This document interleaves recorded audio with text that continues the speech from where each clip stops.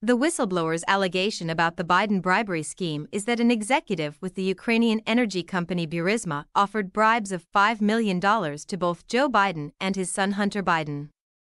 The allegation is that then Vice President Biden allegedly engaged in a bribery scheme with a foreign national relating to the exchange of money for policy decisions.